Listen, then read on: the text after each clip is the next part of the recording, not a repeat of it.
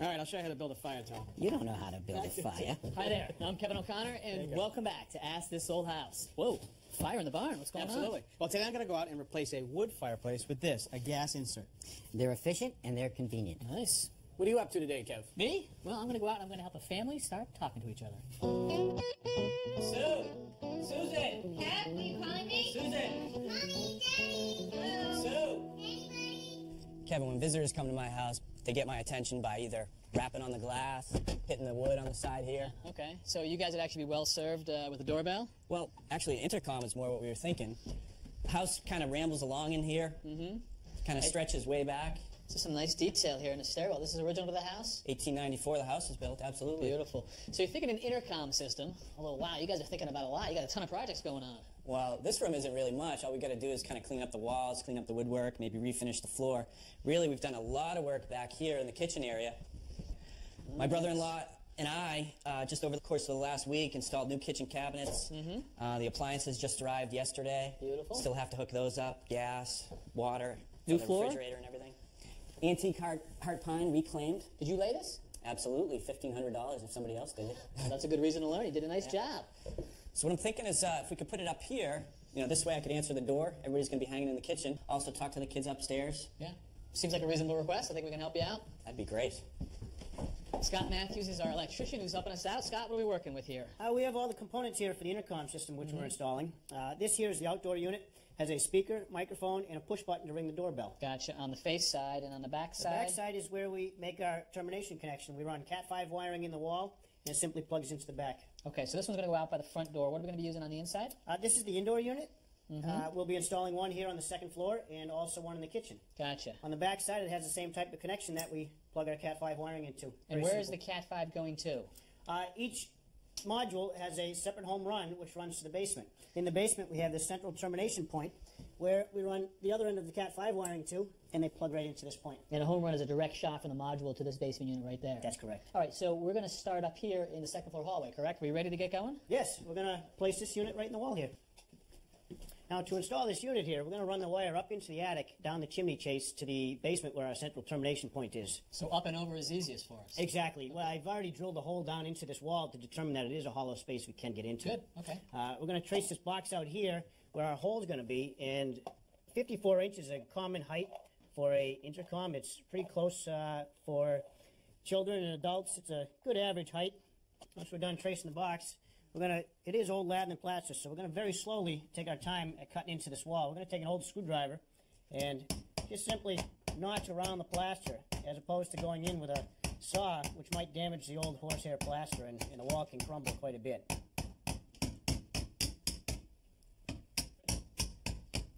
So just little taps uh, on the screwdriver. You're not even actually penetrating all that plaster, just a, a dotted line outline. Exactly. We want to break the surface, and then we can scratch a little deeper once we get the get the uh, perimeter of the hole cut. Oh, look at that. One nice piece. Well done. Now we'll cut the wood lath out with our keyhole saw very carefully.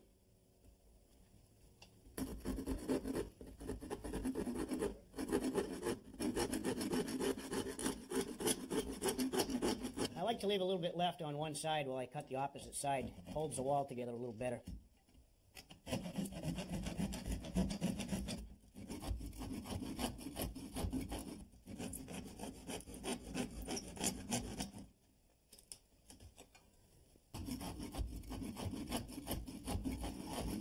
And so for the pieces on the top and the bottom that are still behind the plaster, how are you going to finish those off? What we're going to do is we're just going to simply break this board across the horizontal grain to keep from damaging the plaster above and below. It'll Okay. break right out. Boy, that was nice. Now, if you remember, we used a standard electrical box to trace out our opening. After removing the plaster, we noticed there was a stud inside here, which prevents this standard box from fitting into the hole. So, fortunately, we're using a low voltage system, which allows us to use a low voltage ring, which does not have a back on the box, and it fits right into this opening perfectly. That's Let me nice. show you how this low voltage ring works. Once you start tightening the screw, it moves this tab upward behind the plaster. As you tighten the screw, it moves against the back of the plaster and tightens it into place. Oftentimes, the best way to get a wire from the second floor down to the basement is first come up into the attic here and look for a chase like this chimney, Okay. which would lead us directly to the basement. So what I'd like you to do is pass this fish tape here Yeah. alongside the chimney, uh, down to the basement. Once we get to the basement, we'll tie on a Cat 5 wire and bring it up into the attic here.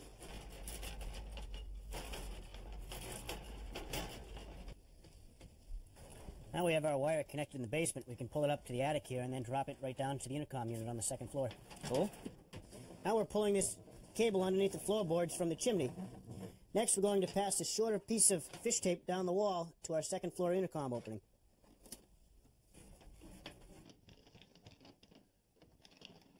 All right, hold it. I got it. Come up a little bit. A little more. All right. All right, I got the Cat 5. Now that we've prepared this cable for installation, these eight wires are arranged in a very specific order to be installed into this modular plug. So what is the order?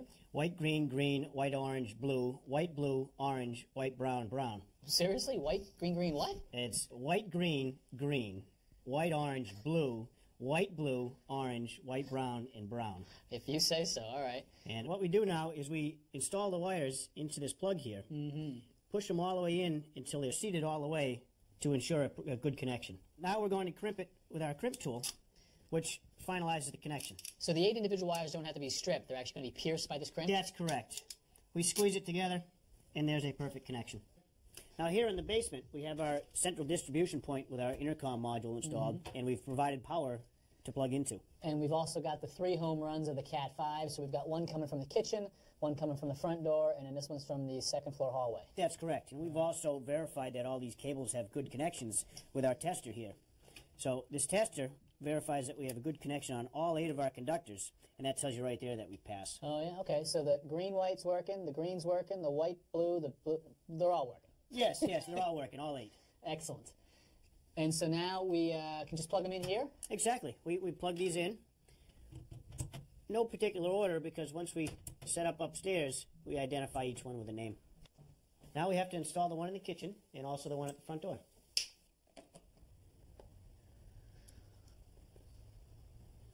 Let's give it a try. We'll be their first guests.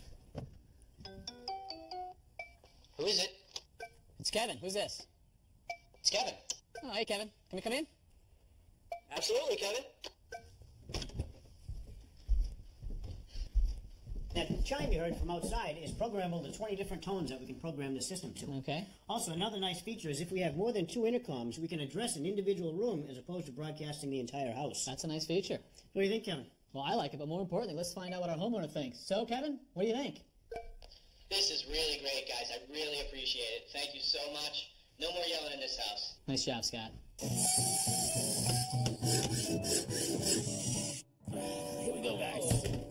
Three great clues. All right. It's green, Oh, that's it's good. plastic, uh-huh. and it's round. Oh, Those thank are you. great. Roger. Yeah. What is it? Well, first of all, Roger, you left out a very important component to this: I didn't want to give it away. the stand. All right. All right. What's the best thing we like to do when we go home at night? We turn the TV on. Easy. No, across the nation, everybody does it. They turn it on and they play the lottery. They're looking for that number. This is a play-at-home lottery game. You spin it, you spin it, right? And this is teaches you how to pick that magic number. Spin it. Everybody ready? Come on. Oh, Reach in there. I think it's in there. Come on, baby. Here it is. Here it is. Nine. Yes. Wait a minute. Could be six. oh, Protest. Protest. No, I saw this the other day, actually. I thought it was a pretty good idea. You know, bowling is a, really a popular thing all around the country. Oh, but for kids, it can be really demoralizing. You know, they go out there and they take that little ball and it goes all the way down, goes in the gutter, might miss the pins. Oh, gosh. This is Mega Ball. We also call it Strike-O-Matic. It has three a handhold, finger holes right here, and this very handy handle right here. Say that a few handle, times. oh, Thank yeah. you. Say that a few times fast. So, now, you get there, you line it up. You ready?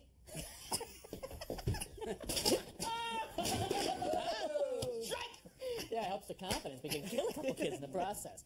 Nope, good guess, but you're wrong. All right, guys, what is the worst part of the week other than coming to work with you class? Garbage night. Sure. Right, you got to drag those big, heavy barrels out to the curb. My kids hate it. back. My kids hate it. Not with this. Check it out. you just put your garbage right in here all week long, Yeah. fill it up with Yeah. the bags, and then on Monday night, that's garbage night in my town. Yeah. After you've sealed it up, like this, Yeah. you just roll it to the curb. The garbage men, when they're done, they just roll it back to you. What do you do? I live on a hill. Uh, hill's a problem. Garbage men don't always roll it back, but it works. Kevin, you're close. You actually fill it with stuff, but you don't fill it with trash. You fill it with organic material from your house. This is a compost. You just take the top off. Banana peels, apple cores, anything. Paper. You fill it up in here. You add some water, and then the important thing to making compost is to get air into it. And these tubes are going to allow air to go in. The compost. Right. So you seal it up. Now, with a usual compost pile, you have to go out there every once in a while with a pitchfork and turn that over. I hate mm-hmm. that. Not with this.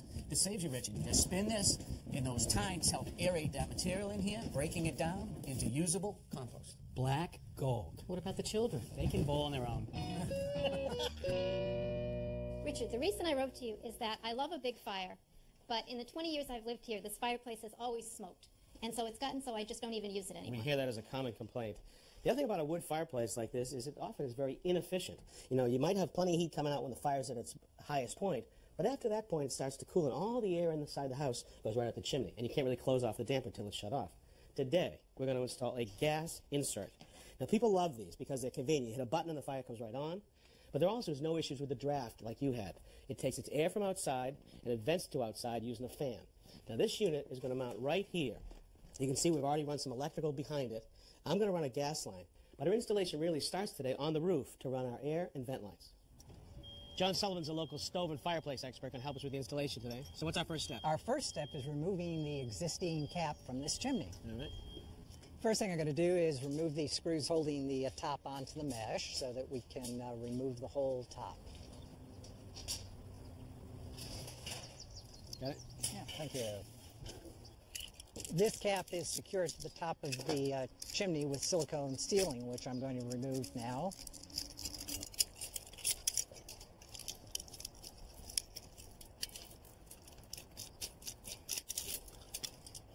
Okay, All right, so good. that's all set. Now, this chimney actually has two flues. This one on the left is for the heating boiler, and this one's for the fireplace. It has a spring-loaded damper. And that's got to go.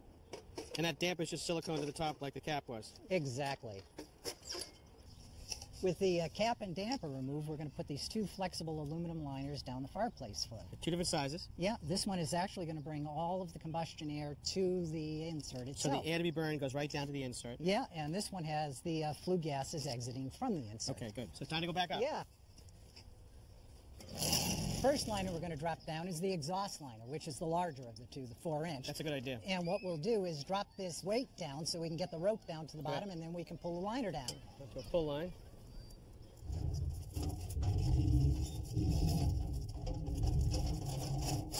Almost there. Okay.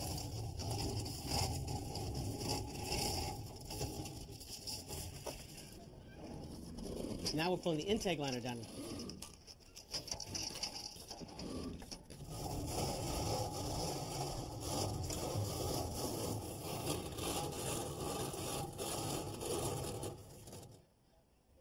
To uh, seal the flue and keep the rain out, we're going to put this top plate on and seal it with uh, high temperature silicone. Okay, that's sealed up nice and tightly. All right, so we've got our intake and our exhaust, and these two pipes will transition to one pipe with a special termination fitting. So the exhaust goes there, the combustion air goes there. And now you'll see it transition to a single termination piece. Just pass me that cap, John. There you go. And this is all you'll see from the street, like so. What we're going to do is we're going to put a bead of silicone on these uh, two outlets.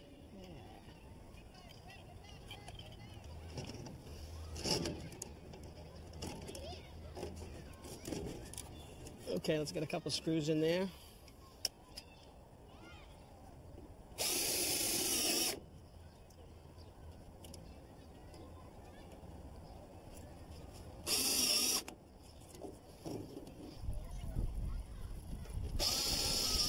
Now we're going to screw the termination piece to the top plate.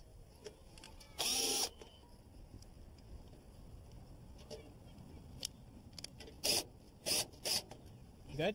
Good, we're all set. All right, so our last piece is the top cap. That slides down there. And then just spin it. Mm-hmm. Good. Yeah, you're locked right. right up. Now, John, to keep the critters out of the flue that comes out from the boiler, you've got this ingenious cap with spring clips right here. We'll just wedge that down. Right. Well, down here in the basement, my work actually begins. This is the base of the chimney right here. And the fireplace is right up above it? Yeah, just above your head. Now down here we've got an oil-fired heating boiler. We've got a gas water heater. The exhaust flues for those two appliances come together and go into the right-hand flue of that chimney. And we'll be using the left-hand flue for the fireplace insert? Absolutely. Now your new gas fireplace needs a gas supply. So what I've done is I've tapped into the gas supply right here. You can see there's a T-fitting. And here's a shut-off valve. There's a little test port right here for the local inspector. And now I've run this piping in pre-cut lengths, and they're just threaded together. I've got pipe dope at every joint connection. And now here's my drop right here. And how are we going to get that up to the fireplace? Well, I'm actually going to copy what the electrician did. Here's where he ran his supply right into the old ash pit from the old fireplace. I'm going to run my gas line right next to it and pop right up into the back of the firebox. All right, I've run my horizontal line down in that ash pit. Now I just have to catch that pipe down all the way down at the base. I think I got it. Yep. All right, so now we have our gas coming up from the ash pit to the firebox right here. I put an elbow on. And now I want a service shutoff called a gas cock right here. So that, I've put some pipe dope on my threads.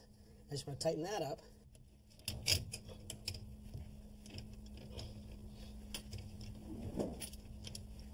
Okay. Now, to allow for a final connection to the gas insert, we're going to use this, a flexible gas supply. This will attach on this side, and it gives us some play to make up this final connection to our gas insert. Right, just give me a hand sliding this. in. Okay, actually, before we do that, what we'll do is plug it into the receptacle here first. It's a little easier now. Yeah. All right, just be careful, don't scratch it. Lift it in. A little farther. All right, so now I can make my gas connection right here.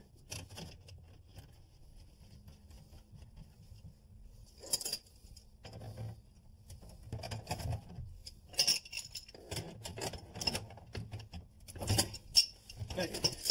Slide it back a little bit more. All right, good. I've made the gas connections, but I'm going to turn on the gas downstairs and test those connections. Okay, and I'll make the exhaust and the intake connections here. We're using the high temperature silicone, which can withstand temperatures up to 500 degrees to make the connection down here.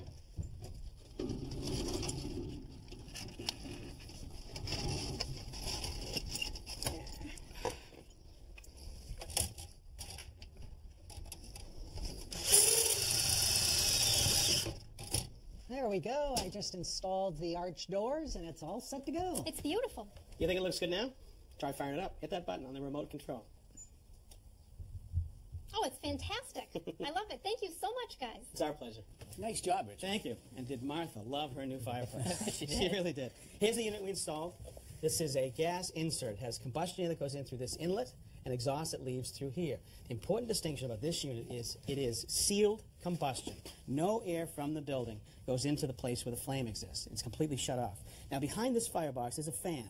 And when this fire is going, the fan can come on and can bring some of the air from the room in behind the firebox, pick up some of its heat, and send it right into the room. So it does a really good job heating the space. Mm-hmm. So it's actually like a heating appliance. Absolutely, it's rated as such. Okay. So this unit, the gas insert, is often confused with the other alternative called a gas log. So what's the distinction here? Well, a gas log just would go right in the same firebox where you used to burn wood. You run a gas line to it, you'd ignite the flame, and this would go right up that same chimney. Now it's going to take a lot of its air from inside the building. That's because this is an unsealed unit. That's Pulls right. the air from the room, actually sends it up the chimney, Right. or it could back up into Right. the room. And you can't just pop this in. If you had a bad draft on your existing chimney Right. that used to have a little smell of smoke in the room, you can't just put this in. you got to make sure you fix that chimney so you have good draft. Nature of an unsealed unit. Right. And by code, you have to be sure you disable or remove the existing damper. Get rid of the damper? Why is that? Absolutely. If you had a damper that was closed with a wood fire, you'd smell it. The smoke would come in the room, and you'd know right away. Right. With gas, if that thing was closed, you'd, you'd have flue particles coming in that you don't smell. There's no smoke, and it's got carbon monoxide, and that's dangerous. Okay, so the code is going for safety there, and in this case, it's really not that efficient. Right. Now, one way you can offset that is to be sure to have glass doors that can tightly seal when that unit's not on. They have to be open when the fire's on, so you have combustion air that go into the chimney. Got it. Now, this unit, the gas log, I always say, this is for romance, it's for appearance, Oh. where this is for heating efficiency. Now, what is the cost difference between the two? Well, a gas log, as we see it right here, is about seven hundred thousand dollars. If you add a door to it, it's probably fifteen hundred.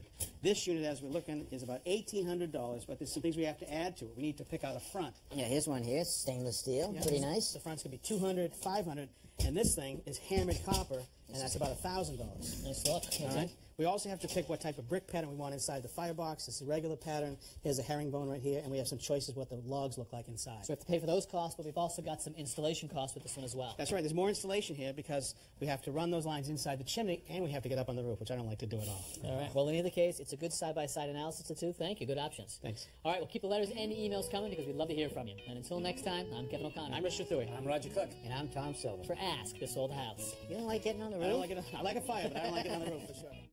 If you have a question about your house or a tip you'd like to share, please let us know. Visit our website, pbs.org, for expert advice, step by step videos, and much more.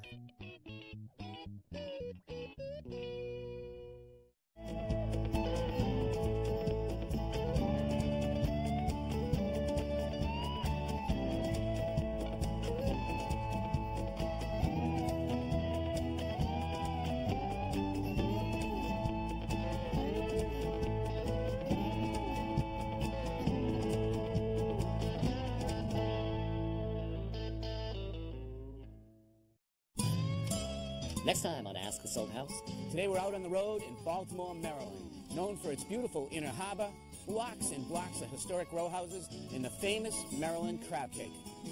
Delicious.